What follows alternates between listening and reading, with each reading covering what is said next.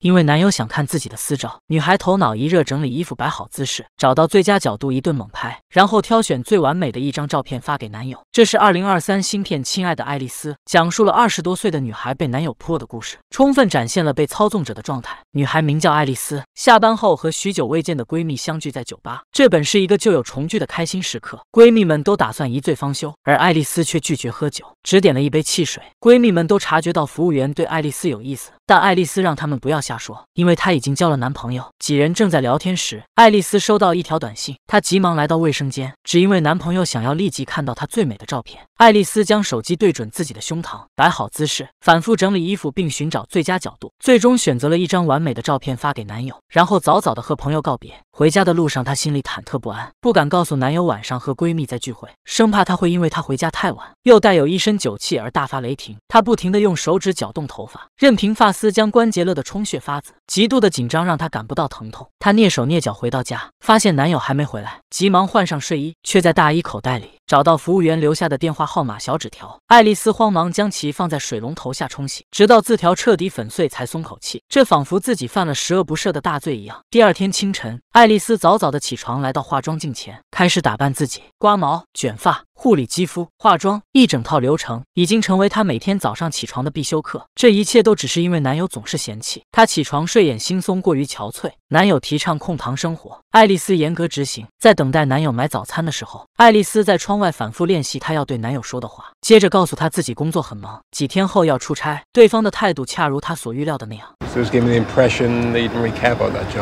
You didn't really care about that job. I think you could do better than that. 这个男人总是以自我为中心，要求爱丽丝一切以他为重。可惜爱丽丝还一直认为是自己不够替男友着想，将所有不愉快都归咎于自己身上。当晚，男友的画展上，爱丽丝邀请闺蜜前来参观，对方询问爱丽丝是否向男友提过要外出度假的事情。然而事实上，爱丽丝根本没有勇气明确表达，而是用出差的理由企图蒙混过关。画展结束后，男友垂头丧气地坐在床边，一脸痛苦。原因是他嫌弃今天到场人数太少，来的都不是什么大人物。爱丽丝急忙安慰他。事后，爱丽丝独自一人坐在马桶上沉思。明天她将和闺蜜外出几天庆祝生日。她为欺骗男友而感到自责，甚至觉得在某种程度上是对他的背叛。她不停地用手指搅动头发，任凭发丝将头皮勒得充血发紫，最后将成簇的头发一拽而下，再揉成团，反反复复。第二天，爱丽丝买了自己最爱的咖啡，和闺蜜分享，并踏上前往度假小屋的路途。一路风景如画。她的脸上再次绽放久违的发自内心心的笑容，已经不记得上一次如此开心是什么时候了。然而，美好的时光总是短暂的。她收到了男友的一条短信，再次让她心事重重。她看向窗外，脑海中不断浮现男友在她信心十足时的打击，挑拨她和闺蜜的关系，甚至禁止她和任何异性接触。爱丽丝心中有一种感觉，她似乎正在瓦解自己的自我认知，逐渐失去自我。尽管如此，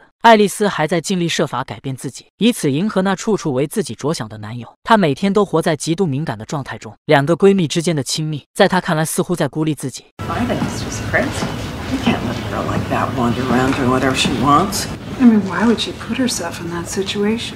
爱丽丝敏感地抛下朋友出门，注意到门上张贴的寻人启事。这时她明白是自己多疑了，他们说的不是自己。几人终于赶在天黑前抵达小屋，这里是其中一位闺蜜小白儿时的住所，承载着她们幼时的美好记忆。爱丽丝和两个闺蜜相识二十多年，每年都会找机会来此度假，此次就是为了庆祝小白的三十五岁生日。餐桌上，几人聊着成人话题，在向往自由和平等的两位闺蜜眼中，爱丽丝对于爱情的看法有些偏执而刻意。她因为男友而不能与任何异性接触，两人不敢相信爱丽丝竟有如此想法。她觉察到两人的神情怪异，爱丽丝不再言语。晚上，两人泡在超大浴缸里，爱丽丝却坐在角落不愿下水，只是客气的与两人交谈。回到房间后，爱丽丝戴上了床头柜上许久未见的小发卡，但下一秒手机响了，是男友发来的短信。爱丽丝只能拿起手机对准锁骨，拍了一张美照发过去。女孩被男友长期精神控制，因为对方想看私照，她必须立即配合，无论何时何地，而且不能有私人时间，不能和除了男友以外的人接触，即便是异地，男友半夜发的消息也必须秒回。这样的生活让爱丽丝逐渐失去自我，可她仍觉得是自己不够替男友着想，想和闺蜜玩两天，她都不敢和男友说实话，而是用出差的借口蒙混过关。看到两个闺蜜正在玩得兴高采烈，爱丽丝却是保持距离，不主动搭话。听到两个闺蜜称她为绯闻女孩，她急忙询问原因，原来她的造型还和十年前电视剧里女主角一样毫无新意。You are aware that popular culture has evolved over the last decade.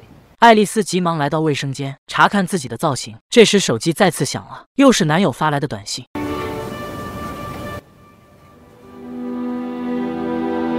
Um, so I think I'm gonna have to leave early. Seriously? We're here for my birthday. 爱丽丝借口工作繁忙必须回去，但两个闺蜜知道，她们都请了两周的假期参加这场聚会。当晚三人不欢而散。爱丽丝似乎意识到自己的行为过分，便给男友发消息说自己不能离开。小黑也过来劝说爱丽丝，他为了给小白一个惊喜，买了烟花，并告诉爱丽丝，三十五岁生日对小白来说是一个重要的生日，她需要朋友陪伴。第二天一大早，爱丽丝离开了小屋，脑海中无数次出现男友要求她远离闺蜜的画面。 You've told me that you can't be your real self around them. When you've seen them, do you have a good time or not? Why do you put yourself through this? Do you feel better or worse? I think you already know what you have to do. And there is a really easy solution. You don't need them in your life anymore. It's tough.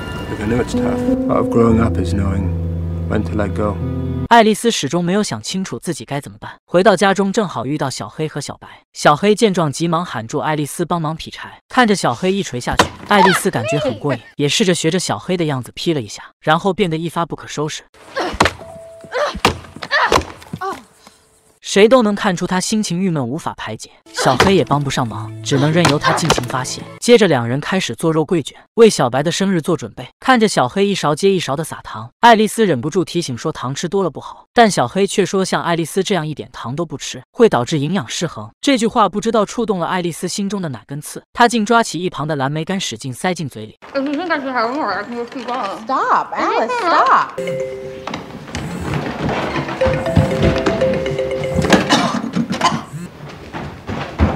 Baby.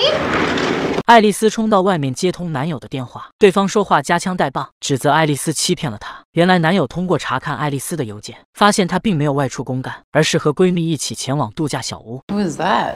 Uh, just Simon. He needs me. What? Why? You're kidding. What? He can't figure out how to turn the dishwasher on? When did he become more important to you than us? Jesus Christ, Tess, not everything's about you. 商人的话张口就说了出来。爱丽丝回到房间，立即开始收拾东西，准备第二天一早离开。她听到小白在外面说她的性情大变，于是她开始反思，但脑海里浮现的却总是男友的脸。他总是以“亲爱的爱丽丝”开头，自以为是的对她说一些所谓的帮助性话语，试图操控她。爱丽丝又开始抓住后脑勺的碎发，用手指不停搅动，尽管头皮已经发红。天一亮，爱丽丝准备离开，却到处找不到自己的手机和钱包。她质问是不是小黑藏起来了。小白告诉她，小黑去了商店，现在小屋里只剩他们两人。大家现在需要静下心来好好谈谈，因为小白不想失去一个至交好友。看着爱丽丝仍在不死心的寻找，小白说只要她愿意再陪自己玩一次桨板，就把手机和钱包还给他。两人站在桨板上，试图保持平衡。为了拉近彼此的距离，小白时不时晃动桨板，但爱丽丝却没有心思去胡闹。下一秒，小白一个轻跳，爱丽丝便掉入水中。她本以为这样会激起爱丽丝玩耍的冲动，但没想到对方气急败坏地指责自己，并把自己也拉入水中。爱丽丝想要上岸，却发现男友送她的耳环不见了。她急忙潜入水中寻找耳环，尽管小白说水深三十英尺，她却不听劝告，反复潜入水中，将自己置于危险之中。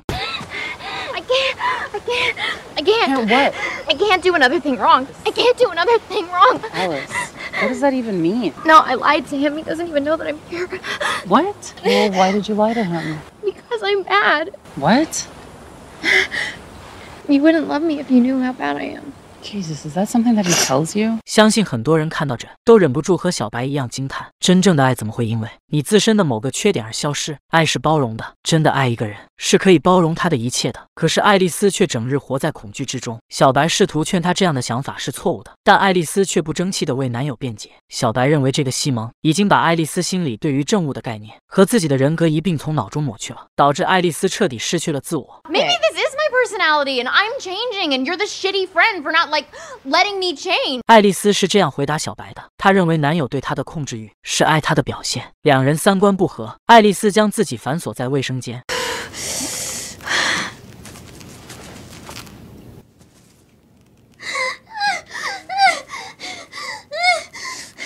Alice. Please, please go away. Please go away. Please go away.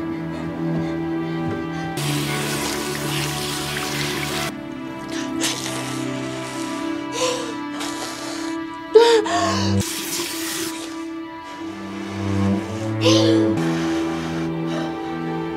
次日，爱丽丝早早出门，她生怕会和小白撞见尴尬，直到傍晚才回来。小白主动拿了三明治给她，爱丽丝也顺着台阶下来。小黑开车出去找爱丽丝了，家里又只剩下两个人。爱丽丝向小白道歉，在小白的耐心安慰下，爱丽丝终于认清了自己的内心所想。她潜意识里是不愿回到那个家的。晚上，小白读书给爱丽丝听，仿佛佛两人又回到了童年时光。这时，小黑也终于回到家。You were gone a while. I needed some space. You know, this trip isn't just about you, Tess. Make me sound like a bully. I'm not a bully. Oh my god, stop! 小黑的玩笑让三人彻底冰释前嫌，回归到之前的三人姐妹团，她们一起开心出行。现在的爱丽丝终于愿意再次和闺蜜泡一个浴缸，而不是像之前一样只愿泡个脚丫。这是爱丽丝在手机收走之后所呈现出的状态。小白生日当天，几人一起晒日光浴，吃巧克力甜品，晚上一起来到小道餐厅喝酒，畅所欲言。没有手机的日子里，爱丽丝活得像变了一个人。她大方地扭动身体，不再畏惧异性的目光。狂欢之后，发着疯和闺蜜一起走回家，还吃着一包三块钱的薯片，难得的美食。这一切都是因为男友的一句话。Alice, that's enough. That's enough saturated fat to. Alice, that's enough saturated fat to kill a horse. Alice, you'll regret that when you get on the scale in the morning. You are gonna get fat if you keep eating like that. 真是勾句为你好。然而事实是扼杀了她心中的快乐。闺蜜俩人都不以为然，她们都认定这个男人不是个好东西。小黑拿出偷偷带来的烟花，三人看着烟花在空中绽放开来，心里别提有多开心。这是爱丽丝和男友在一起时从未拥有的一夜狂欢，房间也乱糟糟，但三人的心情却如大晴天般灿烂。突然，外面传来一阵鸣笛声，小黑满心以为是外卖小哥，本想着可以尽快吃到美食，但一出门，三人傻眼了。只见爱丽丝的男友西蒙竟然不请自来了。男人担心女友背着自己悄悄点外卖，偷偷驱车前来捉拿。爱丽丝只能尴尬的上前迎合男友的拥抱。小白冷嘲热讽她不请自来，爱丽丝只能尴尬微笑。西蒙则说自己打了无数个电话无人接听。小白谎称信号不好，但西蒙却说他的社交账号一直在更新照片。Well, I'm sure Alice will explain it all to me later. Jesus fucking Christ. Alice, you stop fussing. 看到这里，想必大家都满脸问号。这个男人真的无语了。爱丽丝明明只是默默捡东西，哪里有大惊小怪？男人似乎看出小白不是个好对付的主，眼神飘忽躲闪，默默跟着两人进了屋。爱丽丝进到屋里的第一件事就是拿着化妆包来到卫生间。今天的她没有大波浪，没有精致眼线，更没有无瑕肌肤。她急忙用颤抖的手画眼线。西蒙当晚下厨做了牛排，小白忍不了西蒙对爱丽丝装模作样说出的令人作呕的话，故意贬低她牛排做的不怎么样，并拒绝她回国重做的动作，这使得他极为尴尬。不仅如此，作为客人的西蒙竟主动坐上了大主位，这足以看出他是一个怎样的人。西蒙言语之中充满着对爱丽丝的掌控，他要管控爱丽丝想什么做什么。饭后，他独自一人外出抽烟，留下三个女孩打扫餐具。之后，爱丽丝和他回了房间，脸上尬笑，不知道说些什么。令人窒息的对话又开始了。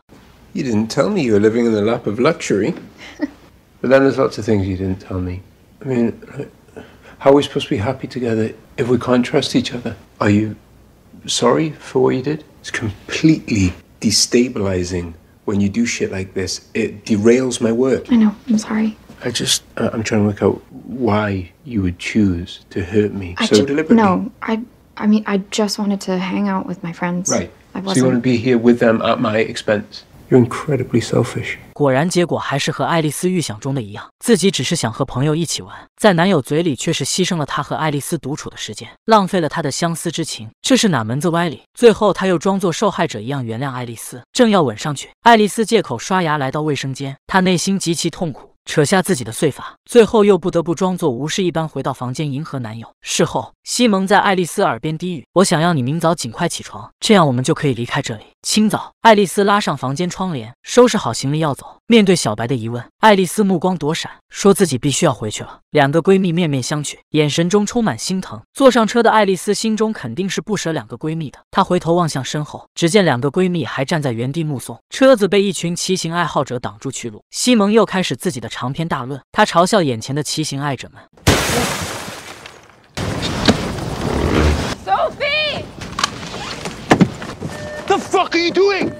小黑用实际行动告诉爱丽丝不要走，他们可以保护她，他们可以做爱丽丝的依靠。西蒙看着爱车彻底抓狂，嘴里脏话连连。难见爱丽丝不如以前一样任他摆布，便上前打算动手。小白见状急忙上前，Go put the fucking axe down. It's a fucking mall, Simon. Okay, put the morals down. Alice, You've always said they don't really know you. You're so full of shit. 西蒙不断劝说爱丽丝和他一起回家，但爱丽丝无动于衷。西蒙彻底慌了，不断诉说自己有多爱爱丽丝，自己的行为都是在表达自己对爱丽丝的爱。小黑咬牙切齿地告诉西蒙 She said no. Don't you shut fucking mouth stay the fuck out of this? Back off! 尽管西蒙态度强势，小黑也没有后退一步，而是坚定地站在爱丽丝的面前。西蒙见三人团结一心，不怒反笑。这一刻，他明白自己彻底失去了爱丽丝。他将爱丽丝的行李扔下车，并警告爱丽丝一个星期之内将行李搬走，之后便开车扬长而去。见他走后，三人终于敢大口喘气。哪有什么胆大包天，都只不过是为了所爱之人强装的勇猛罢了。电影到此就结束了。现实中，很多人遭遇迫时，没人可以帮助他们。希望每一个人都能够擦亮双眼，看看清身边的每个人，